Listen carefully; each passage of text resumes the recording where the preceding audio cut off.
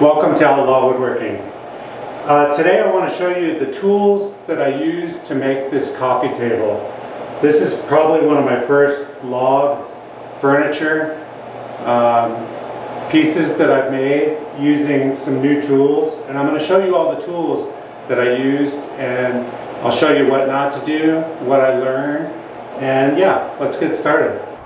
Today we're back up on my mountain and I've been asked to build a coffee table and I don't know how it's going to turn out but I'm going to take two two halves of a log and join them together and then make some legs.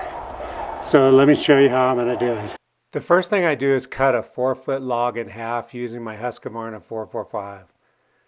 Then I chip off the bark, and this is the wrong way to take the bark off. I'm using a hammer and a chisel, and it's just a hard way to, it's not an easy way, and I'm scraping it. That's just not the way. So right after figuring out that I'm that I don't have the right tool, I order an eight inch draw knife. And right here you can see this eight inch draw knife. Now I'm not going to give you the well, you can go in the description and find this particular one. It did work good, but it was made in China, and I don't like to recommend stuff made in China, so I would suggest getting one made in the USA. But this is what you need, a, a draw knife. And that peeled off the bark really nicely on all on the on the main log for the for the coffee table top and also for all the legs. So that's how I peeled off all the bark. After I get the bark pulled off, I get I ordered a lumberjack tool, inch and a half, uh, tenon, tenonizer uh, kit. It's a beginner kit, and I'm glad I got it. The one thing I learned is to, you know, you, you don't want to use, you can't use over three inch size logs, and you need to taper the ends. If you, when I first started out, I what the tenons weren't very center, and the drill was jumping all over the place. But once I learned like right here, you see it kind of jumps around. And what I learned is to take a grinder and to to grind the ends first. Like this one's not tapered and it was hard to do. But if you look at the next one that I do, not this one, you'll see that I I I I actually grinded the end of that one and it went really easy. Yeah, so so you really need to grind the ends and then they come out really so that was a learning learning curve. Once I get all the tenons cut, I then needed to drill the mortises for the tenons to go into. And the kit comes with the, the inch and a half mortise bit, a pretty nice bit. So I get out a Milwaukee drill and I drill all the, the female mortises for the tenons. And that went well. Um, I just, you know, I had to drill all of them. And then once I had the two sides drilled, I kind of uh, put it together and figured out the measurement for the long centerpiece and then cut that on my table on my chop saw. I then tapered the ends of this long piece. So these are the two mortises that are going to hold the center log that's going to hold the whole leg thing together. And what I did is I made sure and grinded this centerpiece so that when I cut the tenon, it was easier. So if you look, there the, it's tapered already and watch how easy this this tool works. So tapering is the key to this tool and the, and the, then the tenons go really really easy. So that was that was something I learned. Once I get this all figured out I basically um, kind of figure out how I want the legs to lean and uh, I get it where I want it and then I glue it all together and there it is, the bottom all glued together. Now I gotta, now I basically glued the top on and I made two, two pins uh, about an inch and a half diameter to connect the two logs together on the top. And then right here I was told to make the table a little shorter. So I get my Bigfoot beam saw and I make a mark and the request was that it was 52 inches long, so I cut both ends of it off. I love this beam saw. This beam saw is just, I've had it for years and it's just really worked well. It's a big saw, you got to be careful, but it it does work really well. So I cut it down to the requested length. It's now 52 inches. I then, I need to sand this whole thing. So I need to sand all the edges and sand the legs and just clean off all the, you know, clean it up really good after being glued. I then spend, I spend some time sanding it. Log furniture is pretty interesting. I, um, you know, you wouldn't want it in a modern home, obviously, but if you have a log cabin up in the mountains, um, it's pretty pretty interesting. So right here, I scrape off all the glue, and I had a lot of glue to glue this together. Um, I did not want it coming apart, and I actually, when I glued it, I actually let it sit for two days because there's no nails or anything, and I didn't want to risk. Uh, when I was sanding or pounding on it or doing, you know, whatever I was doing, I didn't want to risk it coming apart. So I let it sit glued for a couple days. So right here, I'm scraping off all the glue that um, was on it. And then I also start sanding, sanding it also, sanding the whole thing. I wasn't sure about my design, but after I flipped it over, I really liked it. Next up was to basically get ready to start um, epoxying it. So I get the whole place cleaned up, get some uh, construction paper, and get ready to do the epoxy. I'm going to do the top first. Now this particular product I highly recommend. This is called Super Clear, and it's a it's a one-to-one -one mixture. And right here I'm mixing, um, I'm going to start out with 16 ounces. And it's I'm just doing the two top logs epoxy and then the, it's going to be a two-tone look. So the two logs on the top are going to be epoxied and then the bottom's going to be just a polyurethane. So right here I mix it by hand and the key to this is to have your room temperature above 70. I usually have it about 75 and then um, I, I hand mix it for three minutes and it works perfect. Now these logs aren't very even, so I um, I did struggle a little bit doing the epoxy on these two logs.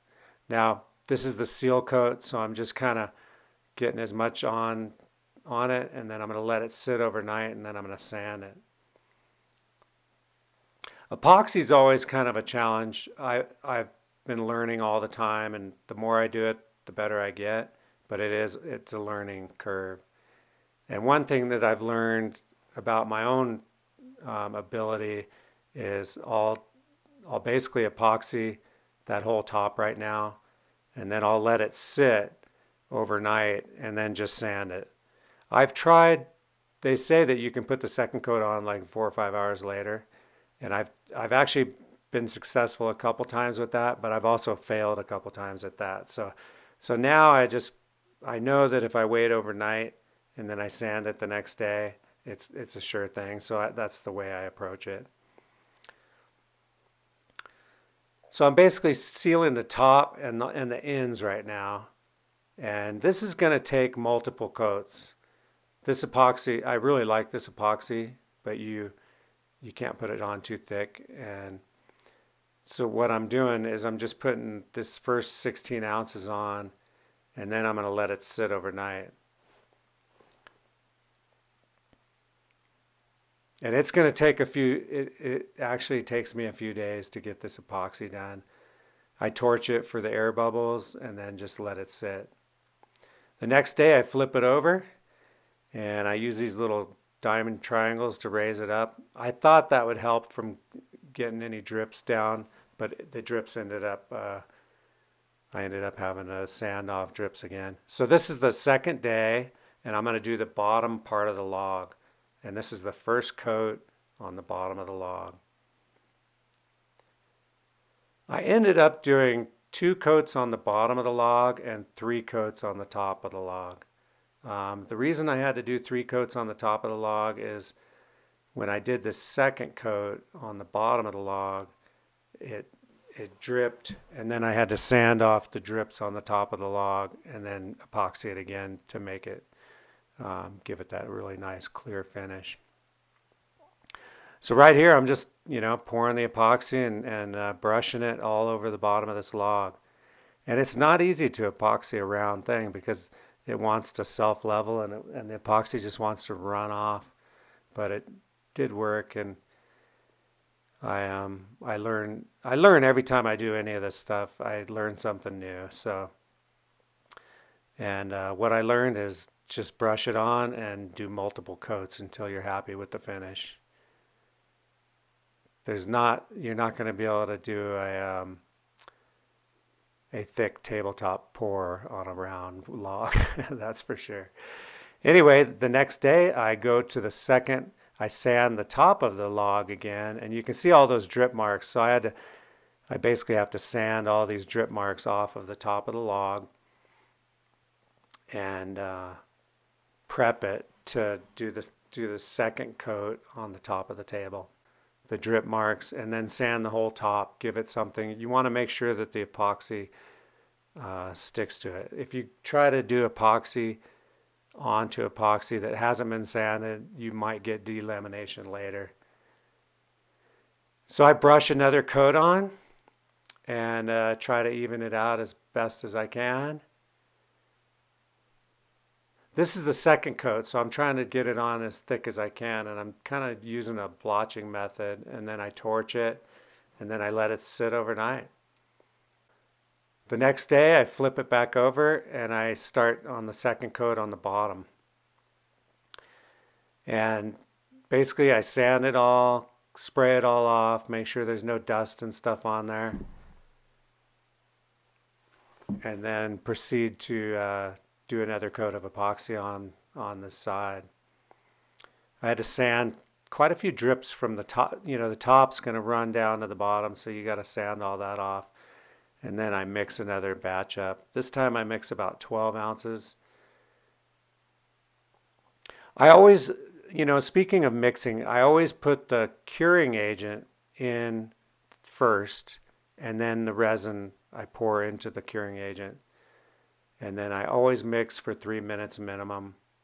And I don't usually mix with a drill anymore. I usually mix by hand. And right here I torch it. The next day, it's back to the top again.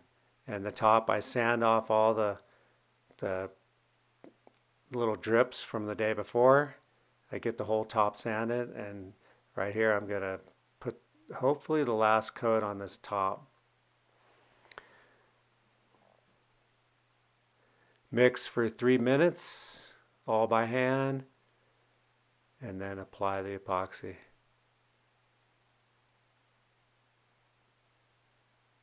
This super clear epoxy, I'm, I can highly recommend. I'm not sponsored or anything, but it really works good, and I'm, I'm not, um, not afraid to recommend it. It's been very successful for me. Just make sure the room, your temperature of your room is above 70 and then um, you know don't over mix it. You know minimum of three minutes mixing good. That's going to be the last coat on this this whole thing. I do that I do the top and then I also um, add another coat to the, all the ends of it.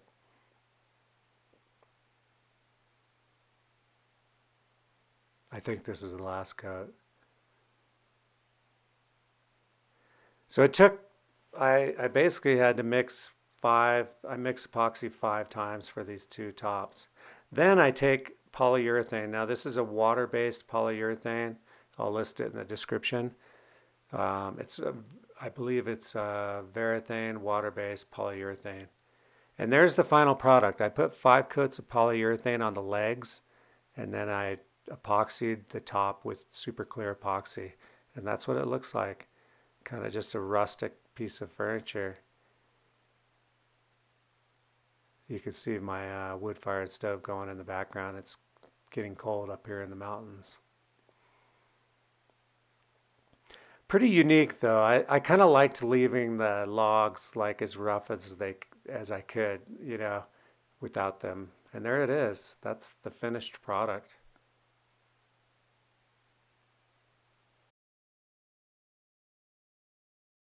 Thanks very much for watching this episode of Outlaw Woodworking. uh, what I learned making this first piece of log furniture. And I'm going to take this upstairs and deliver it. So anyway, please subscribe, like the video, and I will see you next time. Later.